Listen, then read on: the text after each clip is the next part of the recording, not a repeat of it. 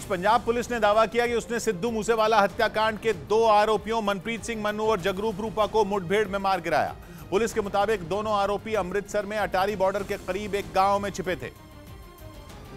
और जैसे ही इस बात की खबर पंजाब पुलिस के अधिकारियों को लगी, उन्होंने मूसेवाला की हत्या के आरोपियों को पकड़ने के लिए एक बड़ा ऑपरेशन शुरू कर दिया।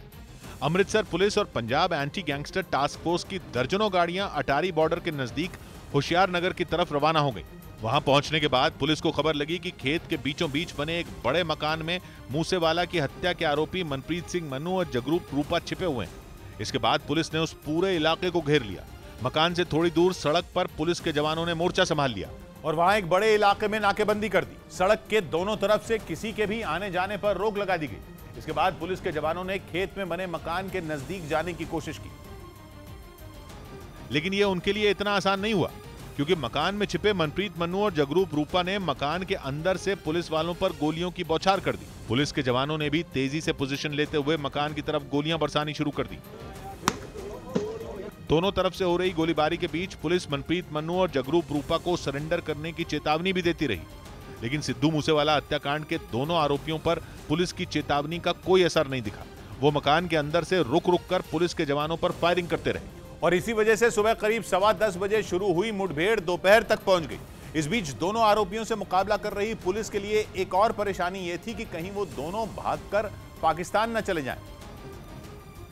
क्योंकि जिस इलाके में वो छिपे हुए थे, बताया गया कि वहाँ से पाकिस्तान की सीमा महज 10 किलोमीटर दूर थी।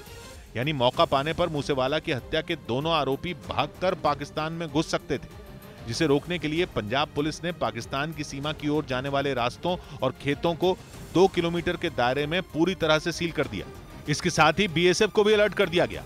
उधर दूसरी तरफ़ मकान में छिपे मनप्रीत और जगरूप ने फायरिंग जारी रखी। इस बीच पुलिस की एक टीम उस मकान की छत पर पहुँच गई जहाँ से दोनों आरोपी फायरिंग कर रहे थे। क्योंकि सुबह शुरू हुई मुठभेड़ को करीब छह घंटे हो चुके थे और पंजाब पुलिस जल्द से जल्द इस ऑपरेशन को खत्म करना चाहती थी। और इसीलिए पुलिस की एक बड़ी टीम को उस मकान तक भेजा गया। वहाँ पहुँचने के बाद पुलिस वाले मकान की छत पर चढ़ गए।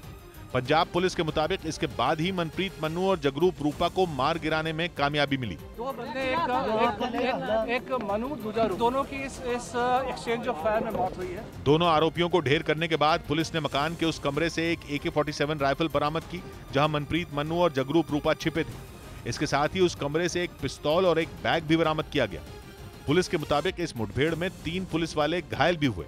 और मुठभेड़ खत्म होने के बाद पंजाब पुलिस के डीजीपी गौरव यादव भी मौके पर पहुँचे और उन्होंने पुलिस वालों की पीठ थपथपाई। क्योंकि सिद्धू मूसेवाला की हत्या के बावन दिन बाद पुलिस ने उन आरोपियों को ढेर करने का दावा किया जो पंजाब में ही रहकर पुलिस को चकमा दे रहे थे। और कुछ दिनों पहले ही एक ऐसी तस्वीर भी सामने आई थी। ये तस्वीर पंजाब के मोगा की बताई गई थी जो वहाँ के एक इलाके में लगे सीसीटीवी कैमरे में रिकॉर्ड हुई थी।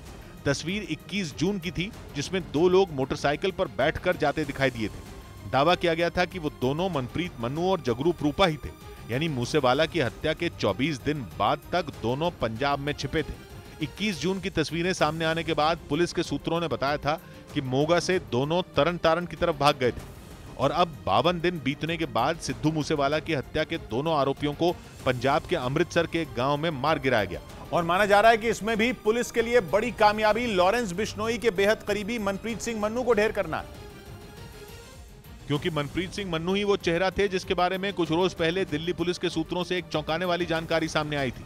और वो ये कि मनप्रीत सिंह मन्नू ही वो शूटर था जिसने 29 मई को सिद्धू मूसेवाला पर पहली गोली चलाई थी।